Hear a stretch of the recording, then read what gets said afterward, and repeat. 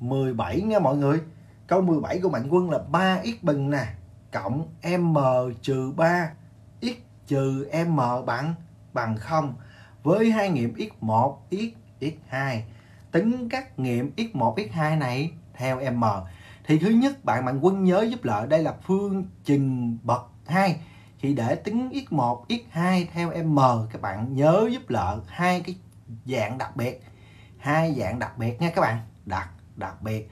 Đó là a cộng b cộng c bằng bằng 0 thì mình sẽ có một nghiệm là một và một nghiệm là c chia chia a.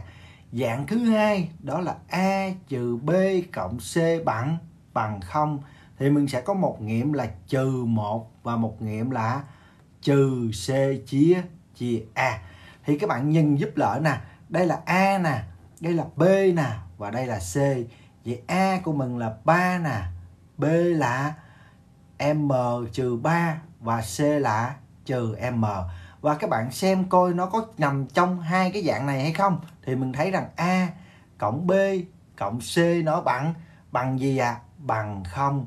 a cộng b cộng c bằng bằng 0 giải thích cho người ta biết 3 cộng m trừ 3 cộng cho trừ m bằng bằng 0 vậy ta kết luận phương trình có hai nghiệm phân phân biệt x1 bằng 1 và x2 bằng c chia a. C chia a, vậy bằng trừ m chia chia 3 ok ông bạn mạnh quân ơi.